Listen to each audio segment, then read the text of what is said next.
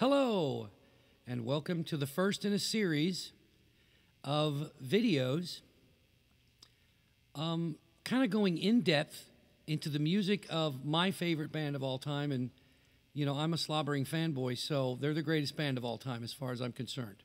Um, let me just play you a couple of licks and, um, and help you sort of to, to sort of understand who I'm talking about. Uh, my name is Mark. Um, my wife calls me douchebag. My daughter calls me dad. My good close friends call me Deke. But you folks out there, you can just call me Mark.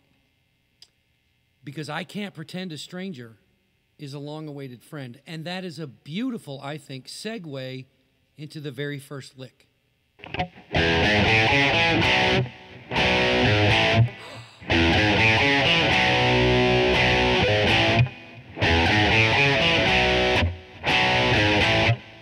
You know who I'm talking about, right? You know that instantly. I don't really even have to go any further. It's Rush.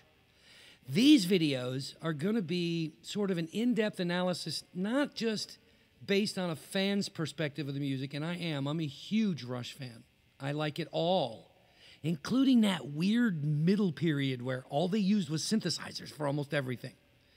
Um, this is going to be an examination of why the music has been so, I guess, um, phenomenal over the years. It's had such an impact on not just musicians, and it has an enormous impact on musicians like myself, professional guys, the guys from Dream Theater, the guys from Metallica, um, Billy Corgan. Uh, all these people are hugely influenced, if not by the music of Rush, the concept of Rush. Rush has always been a band that did what it wanted to do and did so with spectacular success. Maybe not so much at first, but with spectacular success. Um, what I want to do, what I what I really want to do in these videos, is to show a little closer what makes the music so cool and and so good. And a lot of that, I'm gonna, I'm gonna, we're gonna look, we're gonna talk about the guitar stuff that Alex does. We're going to talk about the bass stuff that Geddy that, that Geddy does, and we're going to do we're going to talk about the drum stuff that Neil does. Now, I started as a drummer about 100 years ago, and I was already a Rush fan by the time that happened. Um, so, I, I, looking at it from a standpoint of a drummer, greatest band I'd ever heard of, right? Greatest band I'd ever seen. About 17, I picked up a guitar, and spent years learning.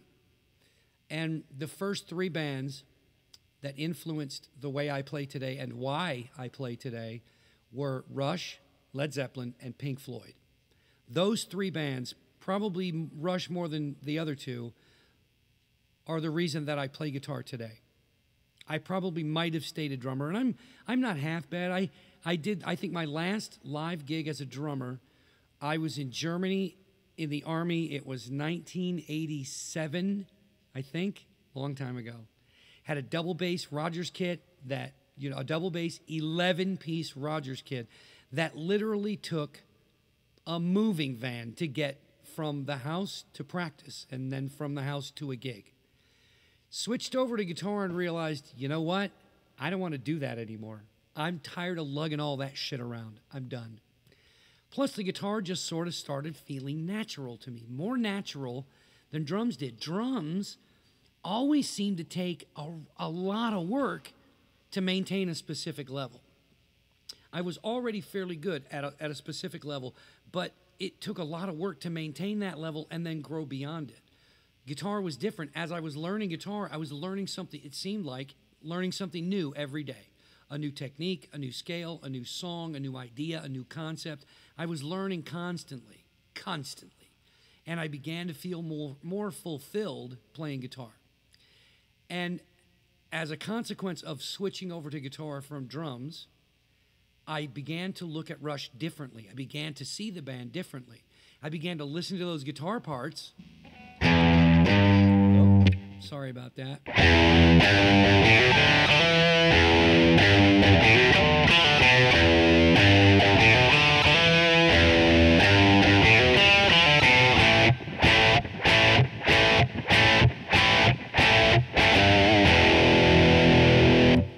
That's from the first album. That's called What You're Doing. Great song. Love it. Love, love, love, love, love it.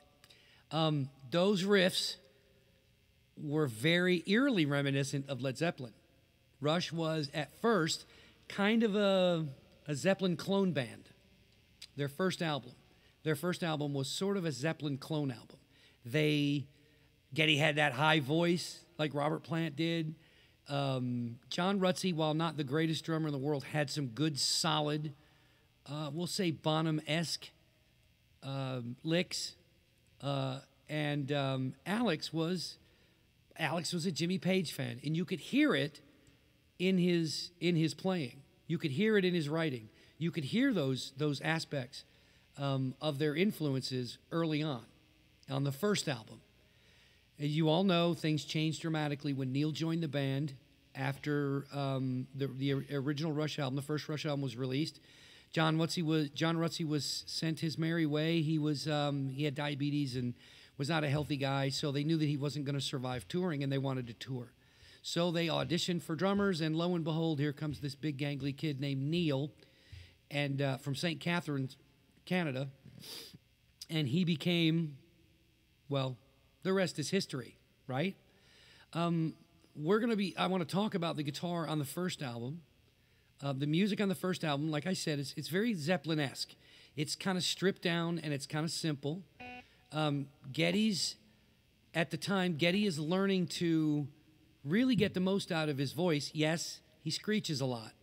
Sorry, not sorry. I love that stuff. That first album is really outstanding. The guitar stuff was pretty simple as far as the rhythms went. Alex was just beginning to figure out who he was as a soloist. So, yeah, he knew the basic pentatonic minor scale.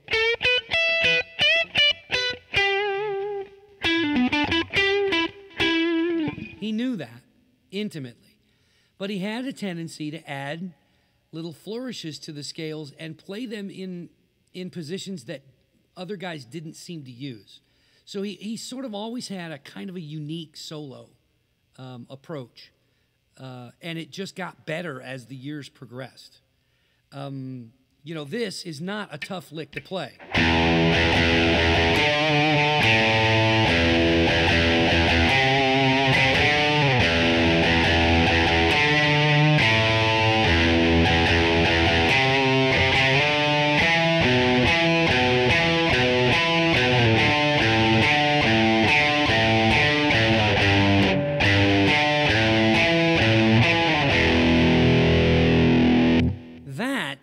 Is very different from, say, this.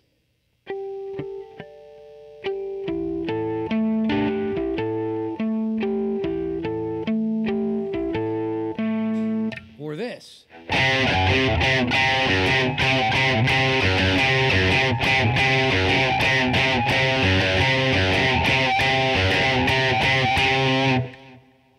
Working Man while not my absolute favorite track, I got to be honest with you, I don't really like it. I always, I always had problems with the production on that album. I thought John Rutsey, John Rutsey's snare sounded terrible, just awful. I hated the sound of his snare drum, hated it.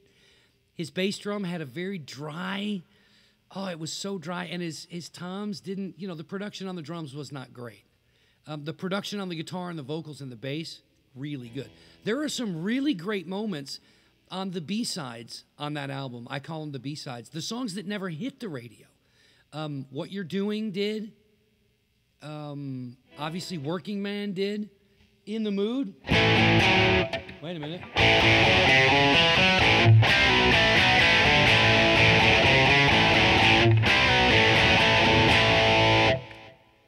That, you know, straight ahead, sort of uh, bluesy esque kind of guitar riff.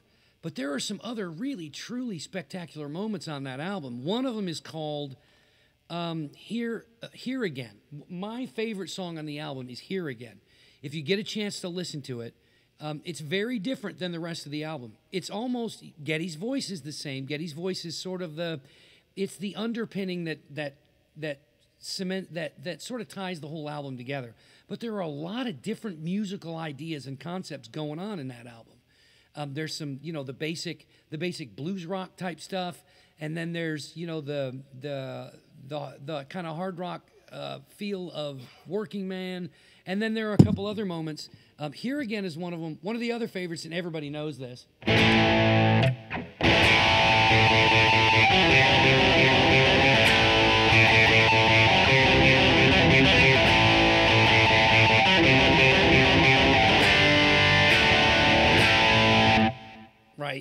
Awesome. That's Jimmy Page. That's Alex just ripping Jimmy Page off. That's all it is. But it's beautiful. It's it's good the way he does it. Here again, though, here again is sort of a it's a slower kind of uh, more mellow feel with a really cool guitar part and one of the best solos that I think Alex did on I gotta say on the first maybe three albums. The best guitar solo he did on the first three albums was on the song Here Again just so beautiful. We're going to talk about Alex's equipment. We're going to talk about Geddy's equipment. We're going to talk about effects the band was sort of into. We're even going to talk about that weird middle period with all the synths. You see the keyboards behind me, they're there for a reason. We're going to talk about it all. I'm going to go over as much of it as I possibly can. Can't play the bass like Geddy does. I have one, and we're going to take a look at some of the some of the um, ideas, the concepts that he uses how his bass playing evolved over the years. There was no rhythm guitar player. So Geddy had to play bass and rhythm guitar at the same time. That's how his style evolved. That's why he plays the way he does. Um, the song Here Again on the first album, um, it's a B minor, kind of slow B minor. It's almost a ballad, but Geddy's voice is not ballady, ballad esque, whatever you want to call it. It's not. He's at times he's got some good control in there and, and, and, and he hits some really just some sweet, beautiful notes, but he doesn't have the pretty voice that you need. Say at the time, 1974, this was 1974, I think. No, uh, yeah, 1974. 1974, the first Rush album came out. Um, it doesn't have he. They don't. They're trying to be a, Lep, a Zeppelin clone band, but they're not. They're still themselves you can still hear their individual personalities. You know what I mean? Musical personalities. You can still hear them. Here again, Geddy hits some. I mean, it's an awesome song. The lyrics are beautiful. The melody that he chooses for it.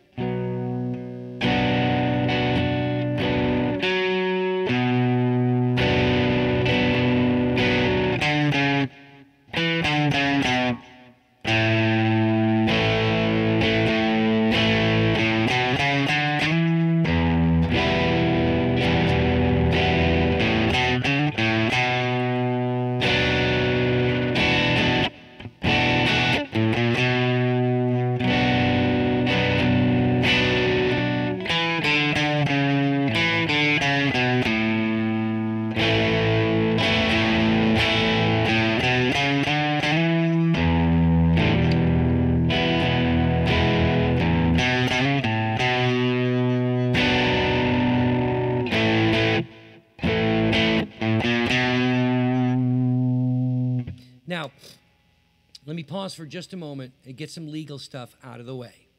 These videos are intended for critique, for instruction, and for edification only. I own no rights to any of this material. None.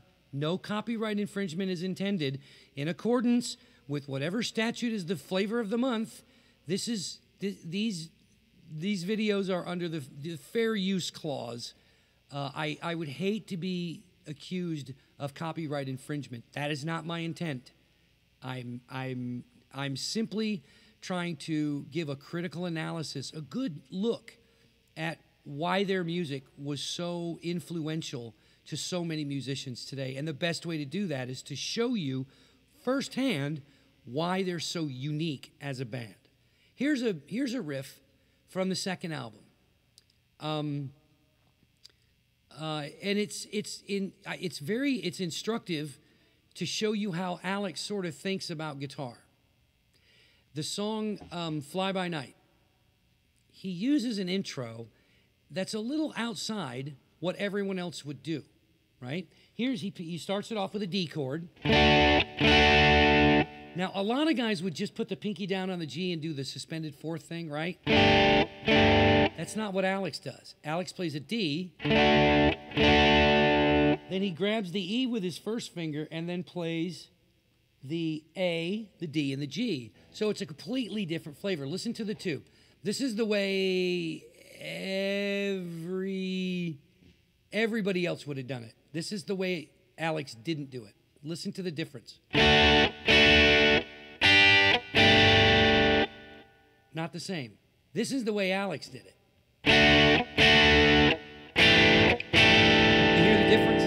You hear the difference in there? That low E changes the entire color of the chord. Instead of it being a D with a suspended fourth, it's now an E with a, a suspended fourth and a seventh on top. Or, I'm sorry, an A with a suspended fourth and a seventh on top, the G on top.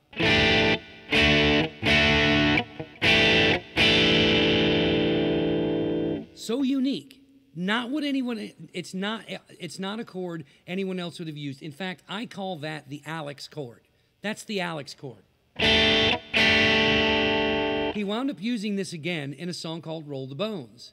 Um, totally different feel, totally different song. Uh, and we're talking 20 years between the two, maybe 25 years between the two. Uh, but he uses that he uses that very same chord again. Alex, I was always intrigued by the the chord structures that Alex chose for a lot of the songs. Instead of just using constant bar chords or you know the the same three finger chords that everybody uses. Alex chose different ways to do things. Alex loved to use open strings too in very unique and creative ways that you didn't hear a whole lot of other bands doing. Here's a here's a little lick from this is from Xanadu. And again, this is another one of those Alex chords.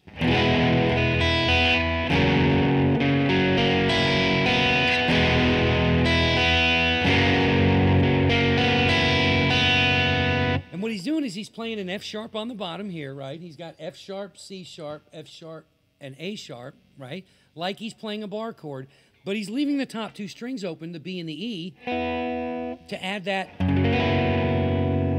that altered chord structure. It's no longer just an F sharp.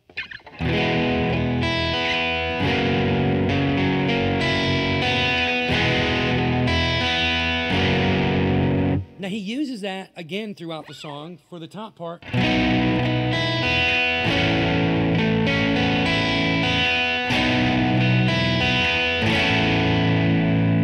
Right. And then he also uses it. Here's something else that um, you might recognize. This is this is another one of those instances where the Alex chord really really makes the song kind of outstanding, right?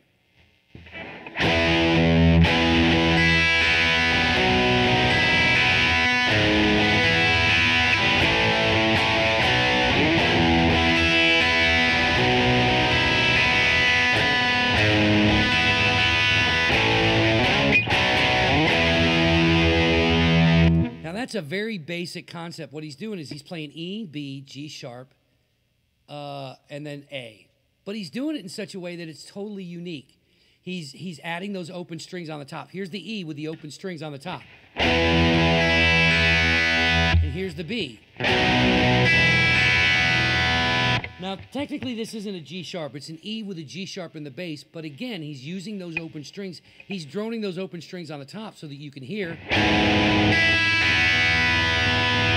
And then the A.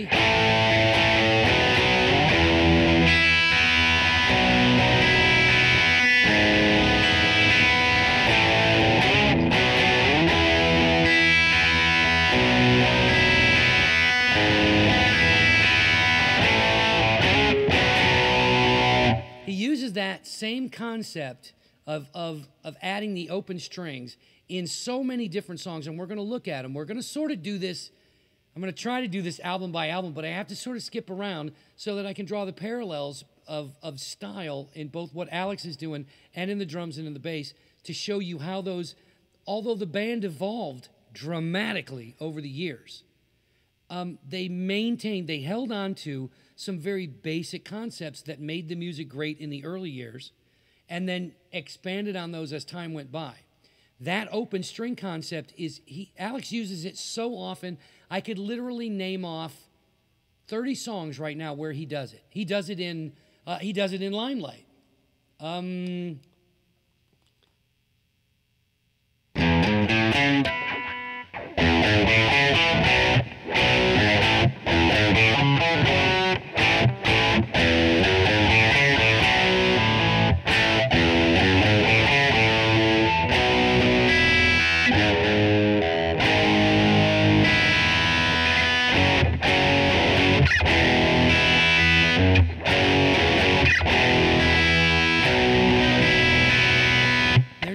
Again. He's playing a B with his first four fingers, like a, a bar chord B, but he's got those open strings up top.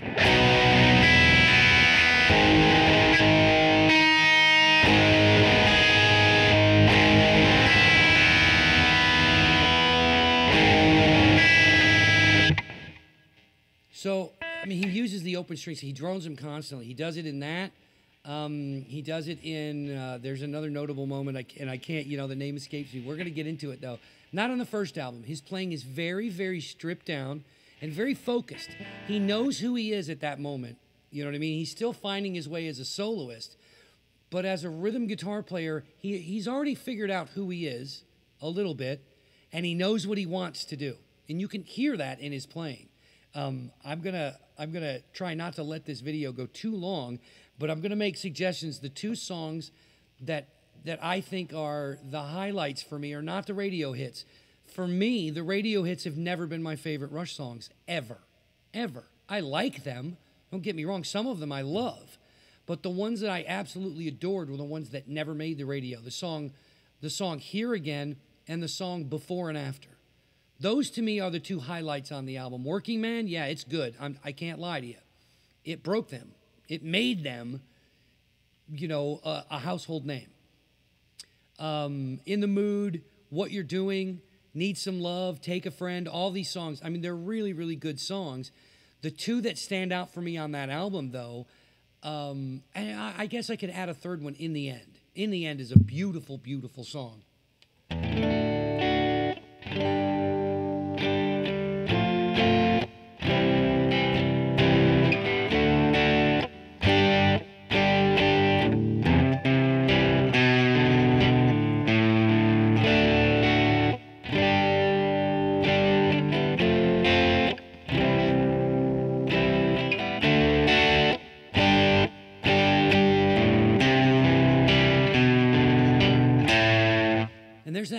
That familiar walk down. Alex uses that on a, on a lot of different things. A lot of different things. That he does. He does. The first time is on on on that song on the end. In the end, it's called "In the End," not the end.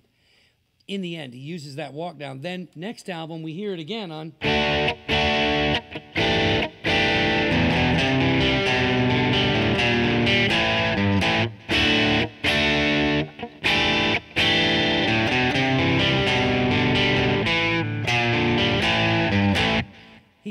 A lot. But then again it was a it's kind of a common practice in the in the in the context of the time that the album was being made and then broke. They were not doing anything truly unique on that first album. Not really. They were at the time there were a lot of zeppelin clone bands out there. There were a lot of bands that wanted to be led zeppelin but couldn't. Um, rush was close sort of you know what i mean? But they they had already by the time that that album was made had already established a sort of feel and sound of their own. Um, with john rutsey their original drummer um, it was very basic though. He was not what i call there are two types of drummer, drummers. There are substance drummers and there are flash drummers okay? I, I break them down into two basic components there are substance drummers, guys who are always on, always on the downbeat, always on one, always, right? Never make you guess where it is. They're there all the time. That's John Rutsey. He's there. He's on the one every single time you need him to be there. Neil was more of a flash drummer. Neil could do the one, but Neil could do so much more on top of just that. He was a substance drummer, a flash drummer more than a substance drummer, drummer but in the context of the band, he came off as more of a, a, substance guy. You know what I mean? It was exactly what the band needed. John Rutsey was exactly what the band needed when their first album was produced. That was what they needed. They didn't need anything fancy. They weren't really Rush yet. Not yet. And there are a great many people who will argue about when Rush became Rush. Some will tell you that Rush became Rush when 2112 was released. Other people will tell you that Rush became Rush when Hemispheres was released. My own personal um, philosophy of that is Rush became Rush when Permanent Waves was released. That's when they became. That's when they became the band they would eventually all they would wind up being forever. Just a powerhouse trio with smart writing, uh, smart lyrics, um, and just musicianship that just no one could touch. You got to be honest. You may not like the band. You might not like the music. You might think Geddy sounds a little bit kind of like a hamster caught in a microwave when he's singing. You know? And a lot of people will, will agree with that. But you can't deny these guys were great at what they did. How many better bass players can you name? How many better drummers can you name? You could probably name better guitar players, but you have to remember in the context of the band, there were two other virtuoso musicians there. So Alex had to become a virtuoso in a different way. Alex became a virtuoso playing rhythm guitar instead of playing lead. Alex learned to use guitar the way a lot of keyboard players use keyboards. He used textures and he used um, mood. He used a lot of mood uh, with, with, with some of his, his rhythm playing. Um, uh, a good example of that, I think, a good example of that is the intro and then the first little bit of Red Barchetta. This is a mood. He's establishing a mood. And it's because he's using harmonics, um, touch harmonics, it sort of gives a kind of a keyboard esque sort of feel. You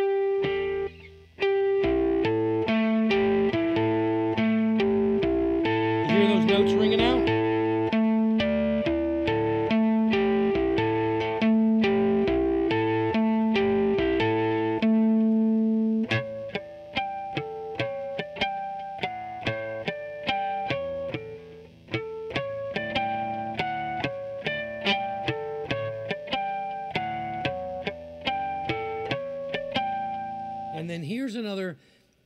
Sort of, again, sort of, it's guitar and it's obvious, but he's sort of adding, he's letting all these notes ring out. And you notice in the intro, he lets all those notes ring out and they interplay with each other. And then when you stack that bass line up that's going on at the same time, right? He's Geddy's playing this really cool little melody on bass, and Alex has got these sort of keyboard tones going on in the background, little kind of a, a bell sound.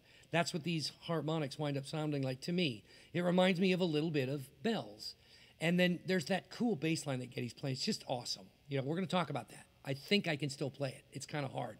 But um, the main, the meat, the rhythm guitar part that, that Alex kicks into after the harmonics, again, is he's using, oh, he's using, you know, ringing chords, and he's sort of, um, he's, he's, he's, he's circling around. I, it's, it circles back to itself. This, this rhythm part circles right back to itself every single time. And that's one of the things that's perfect about this song.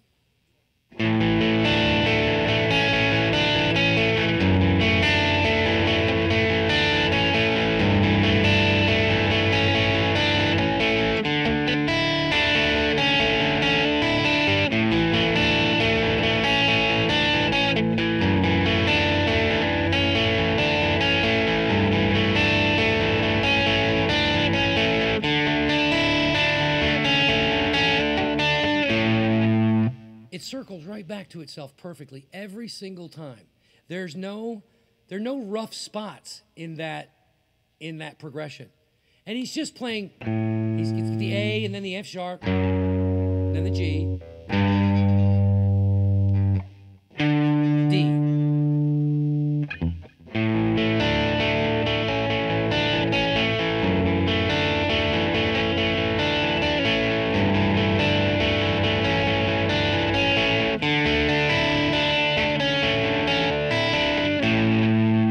Simple. It's not it's not a hard lick to play. I'm sort of not sitting properly, so my my posture is awful, and I'm kind of blowing a few notes here and there. Um, but I mean, it's it's not difficult. It's not a difficult line. It doesn't require a lot of excessive, you know, finger reach and all this stuff. but it's a beautiful, it's a beautiful uh, progression, start to finish. And you know the way not only the way he's playing it, but the effects that he uses on it as well. Alex was always a big fan of chorus and reverb, always, always, always had to have chorus on his guitar. Now it's not something that I particularly care for. I don't like the sound of a, a cycling chorus. I don't like the, that that chorus cycle sound. That wow, I don't like that. I've never liked it. I use a pitch shifter instead. So what I get is I get a chorus sound but I get a chorus sound with no cycle to it whatsoever. And you just saw one of my cats walk past this. One of my, yeah. One of those cats is the reason that I couldn't get my audio work to, to work the other day. They jumped on my um, little uh, headphone distribution amp and pulled one of the plugs out. So, um, but uh, uh, back to Red Barchetta. That intro is just awesome. His his effects, his effects choices have been varied, but consistent through the years. On the first few albums, Alex loves him. He loves him some phaser. He uses phaser on almost everything. Um, he uses a little wah here and there, which is cool, uh, but he uses it tastefully. He doesn't use it on every song. I don't like, I don't like guitar players that, that think that wah is the be all and end all to solo. No, not really. You don't have to have it. It does work in certain cases, but you don't have to have it. It's not a necessity. Um, you can hear what I'm doing today. I'm just I've just got my Les Paul. Um, and I've got uh, my V amp over here with with you know just a basic Marshall sim on it. I've got a little bit of delay. You can sort of hear the a little short delay, and it fades fairly quickly. I've got a little bit of reverb. You can hear the reverb on the mic too, but it's the same reverb on the guitar. But I'm not using much as far. I don't have any chorus, no phaser, no flanger, no nothing. It's just very stripped down and very basic. I didn't want to have effects be part of the discussion until later, until they became, I guess, um, important, vitally important to the overall sound of the band. The first couple albums, the only thing you really heard Alex use was a little chorus here and there, some reverb, and a little wah, and that was about it. So the first album, to get back to the first album, he, he's he's he, he knows who he is a little bit, right, as a rhythm guitar player and he's confident and he's a great player. I mean, for as young as they were, these were really truly talented guys, Rutsey included. These were truly talented guys for as young as they were. They were, you know, early 20s, late teens, early 20s when this album came out. So these are immensely talented guys from a very early age. Um, uh, the a lot of the stuff that you'll hear on that first album is just I mean, yeah, it's basic and it's stripped down, and, and Geddy doesn't have as much control over his voice as he will eventually have, but you can hear that raw power. Dude could sing higher than anybody, anybody, right? Um, that became more and more apparent. By the time 2112 hit, everyone knew knew who Rush was. This first album, though, didn't go it didn't go over as well nationwide until they started touring on it when they started touring on it, all of a sudden the album started to sell a little bit more, a little bit better. Uh, they were getting radio play. Uh, the the uh, station in Cleveland is the one that literally played Working Man for the very first time. American audiences heard Working Man in Cleveland for the very first time. So Cleveland loved them. Uh, and then America began to love them as they toured more on that first album. Um, something else about these videos. I'm not going to talk about this I'm not going to go into in depth detail about why they got together, how they got together. You know, I'm not going to be able to name the dates for every tour. I may not remember the date of every album, but I know every song, every one of them. Um, I know how to play about, I know how to play more than half of the Rush catalog. And I think that's somewhere in the neighborhood of 240 or 250 songs. They've got 19 studio albums. 19. They've got 19 studio albums, they've got four live albums, and they've got an EP. The EP we're not going to talk about. That's other people's music. So that's not really all that big a deal to me. It was good stuff. It was fun to hear my favorite band playing their favorite music, the stuff that influenced them. But um, I'm not going to go into, there's nothing special about that as far as the music went. Um, they didn't break any new ground. You know what I mean? The way Rush operated in the early days, and I, you know, I, I say early days up to the up to the point that they um, eventually disbanded. They would put out four studio albums, then they would put out a live album, then they would put out four studio albums, then they would put out a live album. The first two live albums were, I think, um, two of the best live albums of all time. Of all, I mean, live albums, though, not all albums, but live albums. The first one, All the World's a Stage, was a retrospective on those first four albums Rush, Fly By Night, Caress of Steel, and 2112. And they were young and raw and just dying to make a name for themselves. The next live album they did was Exit Stage Left. Yeah, you've heard of that one, right? That's because that's the one that came out immediately following Moving Pictures. Some people call that the Moving Pictures tour, but it wasn't. It was just their it was the it was the live album they do after their fourth studio. So, it had everything from it had stuff from uh, from uh, hemispheres and permanent waves and uh, uh, farewell to kings and uh, moving pictures so very different the first live album into the second live album is almost like to, listening to two different bands stylistically they changed completely in between those two albums right in between all the world's a stage and exit stage left they were a completely different band. All the World's a Stage was the first live album they did. It was a lot of their early material, a lot of the stuff, like I said, from the first album, from Fly By Night, um, from Caress of Steel, which, you know, a lot of people hated. I thought it was outstanding. I thought it was absolutely beautiful. Um, there was a lot of weird stuff on it. You could tell there was a lot of dope smoking going on. I got not hate, not hating on that. Go ahead, whatever, you know, whatever gets me another Rush album is fine with me. I don't care what you do. I don't care if you're, you know, lighting chickens on fire and smoking them. I don't care. As long as I get a Rush album out of it, I'm good. I don't care. Um, that first live album, though, was very raw. Um, the production was a little edgy. You know what I mean? It wasn't polished. The production, the next live album they did, Exit Stage Left, the production was so slick and so perfect, and the band was so good. Stylistically, two different bands from the first live album to the second one.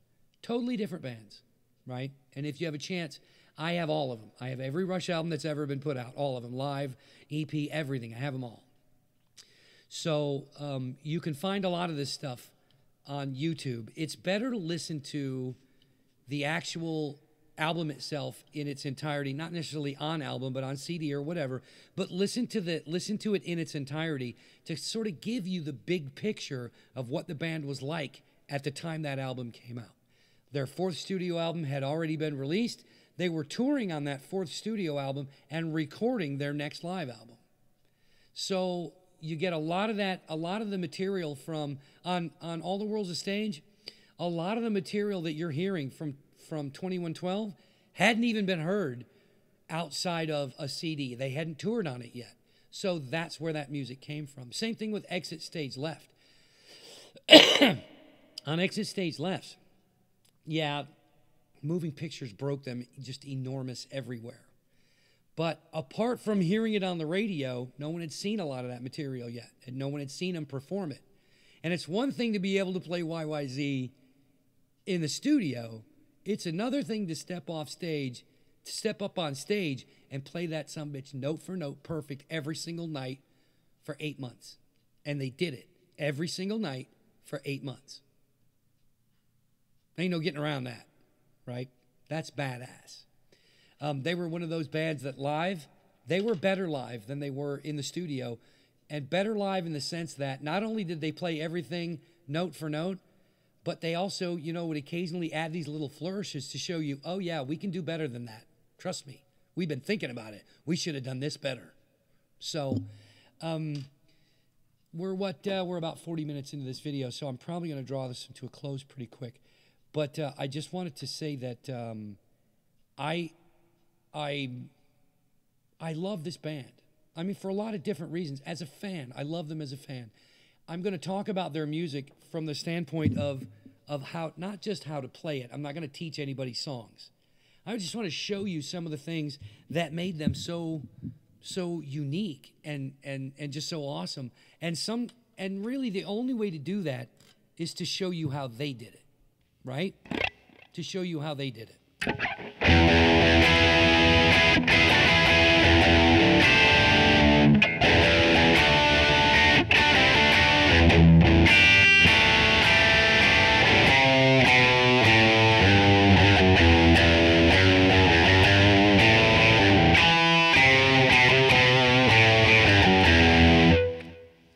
It's easier, I think, when you're talking about doing a, an in depth, sort of a critical analysis of the band itself.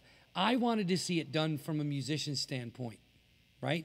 I'd seen a couple of guys reviewing Rush albums individually. I saw one guy reviewing Rush albums worst to first and all this stuff. And I thought, you know, that's nice, but you're not really, you don't seem to really truly understand how, how difficult it was to to step off with those kinds of albums in the in the middle period, that weird middle synth period, you don't know how difficult well difficult it, it was to step off and do that kind of stuff, and still try to maintain integrity as a band, and maintain a loyal fan following, which was difficult. Those of us in the know, those of us who are true aficionados, true mavens, those of us who are true fans appreciated, understood, and appreciated the evolution the band went through because we saw them evolve from doing.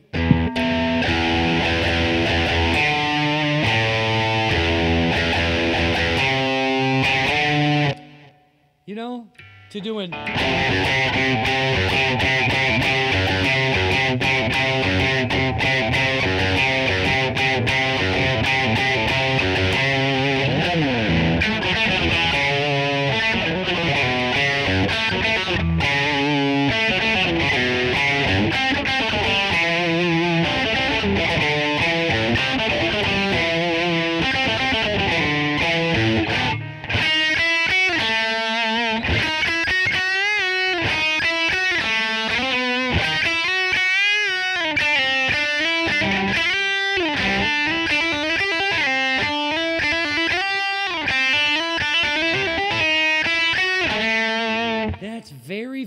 Different than. They evolved. And real fans, true fans, and, and the musicians who loved them understood the evolution. They understood the need for them to experiment and try new things. We can't just be this one thing. We can't be 2112 forever. We can't just be permanent waves or moving pictures forever. You either evolve or you die. The dinosaurs will tell you that. Um, and they weren't going to be dinosaurs. They were not going to be extinct. They were constantly pushing themselves to find new areas, new styles, new approaches, um, new instruments. You know, uh, Alex uses a little bit of acoustic guitar in the early years, not a lot. A little bit of classical guitar in the early years, not a lot, but begins to supplement the music as the years go by um, with more acoustic, more classical stuff. Geddy sort of toys around with synthesizer noises at first. You know what I mean? The first, uh, the first uh, album that he actually used any sort of, any sort of real true synth stuff was 2112, but began to really fall in love with the textural things that you could do with it. You know, you could really add, you could you could make the music um, have a, a, a better more uh, encompassing feel because you know synths and keyboards could add mood along with the bass and the guitar and the drums right? It was just they were not taking anything away from who they were. They were incorporating more to be to to become what they wanted to be. They wanted to experiment. That's this that's the defining i think the defining aspect of the band was they were never happy with the last album. They were never going to put out permanent waves 2 they were never going to put out Fly By Night 2. You know what I mean? It was never going to happen.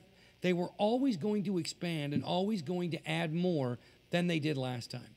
They made a huge leap. People talk a lot, a lot about the difference between 2112 and Moving Pictures. And those are the two, everyone will pretty much agree, those are the two seminal moments in the band's history. 2112 gave them a name. Moving Pictures put them in the Hall of Fame. There's just no other way to look at it. Um, the differences, though, between Fly By Night and Caress of Steel, exactly the same. But Fly By Night was a, a good album, a great album. And it was, and they were beginning to add these really cool things. There's a, a song on there called The Necromancer, and, and the intro. I've always just loved the intro because of this cool chord pattern that, that Alex is playing.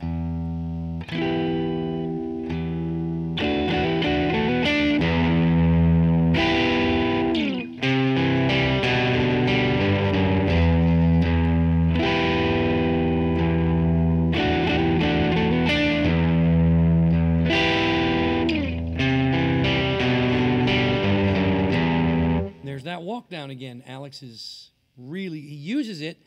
He uses it often, but it always seems to be unique to the song that he's using it in, right? This.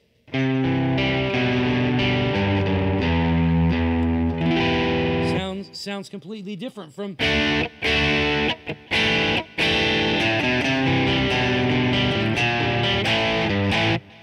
So, yeah, it's the same basic structure, same basic pattern, but he makes it unique to the song he's putting it in. So, um, the differences between Fly By Night, back to that, the differences between Fly By Night and Caress of Steel, huge, huge. Almost as big as the difference between the first album and Fly By Night. That was pretty big. That was pretty big. Fly By Night was not what the record company expected. Not. They wanted to hear Working Man 2. They wanted to hear the sequel to the first album. And Rush didn't want to do that. Rush is always going to go further, always going to go and do what they want to do musically, stylistically, and not necessarily always for the fans at first because they didn't have a huge following at first to be able to do the things they wanted to do. They had to gain it as time went by, and they were at one point one of the hardest working bands in, in of all time. These guys toured constantly, constantly, and always in support of an album that the critics hated. The fans loved, but the critics hated. Critics hated Rush. We're going to talk about that too. We're going to talk about Rolling Stones' um, snub, their 30 year snub of Rush. Oh, I'm still mad about that. Still. Um, yeah, we're gonna we're gonna we're gonna wrap this up real quick, um, and and talk just a little bit more about the first album. The two highlights that I think, the two highlights for me that you might also enjoy, again, are Here Again and Before and After. Don't always listen. Don't always just accept what the radio plays at Rush. Those guys are idiots. They don't know what's good. Trust me. If radio guys knew what was good, Milli Vanilli would never have been a thing. Okay? Don't trust the radio guys. They don't know shit. Nothing. Um, you need to look deeper because the really the best rush is the stuff you never hear on radio. Never. Some of i, I, I said it before some of my most of my absolute favorite songs have been songs that have never been on the radio. You know you'll never hear them on the radio. A they're too long. B they're too proggy. They're too prog rock. And radio doesn't you know aor radio doesn't really care for prog rock all that much. Um, they're too intellectual, or Geddy's voice sounds stupid, you know, that kind of stuff. That's, you know, we're going to go through that album by album. I'm going to give you my favorites from each album um, from, a, from a musician's point of view and a fan's point of view. It's hard for me to separate those two, right? As a musician, I appreciate what they could do from a technical standpoint. You know what I mean? Some of the finest musicians that I've ever seen play, ever um, from a fan's point of view, it's hard for me to not see that music from a, pan, a fan's point of view. I've learned a lot of those songs, about half the catalog. I know about half of it. I'll have to bone up on some of it for these videos to make sure I don't play it too terribly, like I just did YYZ a minute ago. That was pretty bad. But then again, that's not the easiest song on the planet to play, believe me. Um, uh, it, it's tough for me to separate how much I love them as a fan and then how much I love them as a musician. As a musician, there's just to me there's no band that that will ever have the same kind of technical chops and expertise that those guys did ever. So in the next video, we, we talked a little bit about the first two albums. We talked a little bit about Fly By Night. We're going to talk a little bit more about Fly By Night. Um, great album. We talked a, a, little bit about the first album in Fly By Night. I'll probably talk a little bit more about Fly By Night. Um, on, on the next um, uh, video that I do, I'm going to talk a little bit more about Fly By Night, but we're going to talk about um, Caress of Steel, which, wow, talk about an album that nobody liked. God, even the band didn't like it after it came out. Um, I liked it. I thought I think there are some truly beautiful moments on there, and we're going to talk about those. We're going to talk about how Fly By Night became Caress of Steel, how they went from one to the other, so radically, drastically different in style and approach. Um, the first of the themed albums, the first. Um, on Fly By Night, they had. Uh, uh, I think was it the Necromancer? It was the Necromancer. The Necromancer. Great song. By-Tor and the Snow Dog. Great song. Love that song. Um, Caress of Steel. Wow, was there some weird stuff on that? Bastille Day, Lakeside Park. I think I'm going bald. Um, the whole uh, uh, uh, Panacea uh, think, gee, wow, that was weird. That was weird stuff. So, next video, next video, going to be very cool. We're going to talk about the next two albums. We're going to talk about Caress of Steel. Uh, we're going to talk about a little bit about Fly By Night, but Caress of Steel and 2112. And yeah, yeah, 2112. You bet. Awesome. It's going to be great. Then we actually probably will look at at some point in in one of these videos I may settle down and just talk about the live albums by themselves to show you how different like I said the the difference between the first and the second live albums is just night and day. Two different bands.